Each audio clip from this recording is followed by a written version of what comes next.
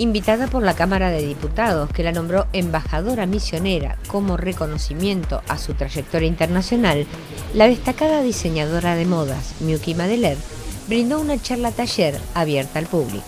A ella concurrieron personal y alumnas de las escuelas de adultos que compartieron el backstage y los procesos propios de un desfile en todos los aspectos profesionales que allí se despliegan. Es como una suerte de, homenaje, ¿no? Esto, de estar acá y de poder compartir con ustedes toda mi experiencia en, bueno, en Buenos Aires, en Estados Unidos, en Londres, en México, en bueno, un montón de ciudades grandes que estuve presentando y siempre en misiones como, como base, ¿no? como ese colchón vegetal y de amor que siempre está ahí.